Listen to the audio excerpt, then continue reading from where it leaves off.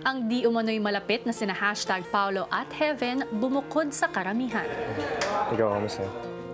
Bait ako dito, no? Miss kita. Meron bago? Bago?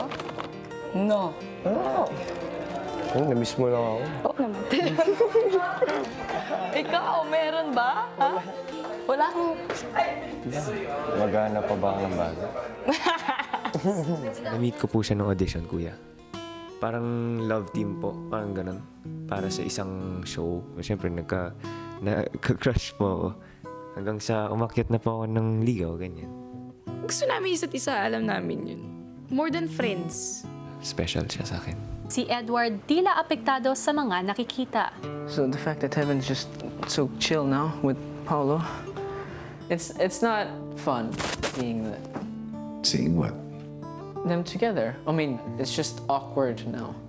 When I saw her with Paulo, it wasn't jealousy more. I just miss her as a friend. Ano, ano pong sinasabi niya? Yung. Sinabi ni Paolo. Ah, nagpapakwento siya kung ano nangyari sa bahay. Sabi ko, sabi niya, ikaw ba, may feel ka ba? Gusto mo ba mag-wait ako? Kasi ako, ayoko ba eh. Gusto niya pang mag-wait tawag niya. Before akong pumasok sa bahay, kuya, nag-badminton kami with my mom. Um, Anong napagkasunduan niyo? Ayun, ah, friends muna talaga. So, hintayin niya talaga yung moment na pwede na talaga siyang mangligaw. Hintayin niya na maging ready ako. Which is, ang kahit nung sa akin, nililimitahan ko na 18.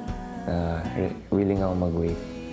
Importante, special siya. And Ilang saglit pa ay natulog na rin ang lahat sa bahay ni Kuya.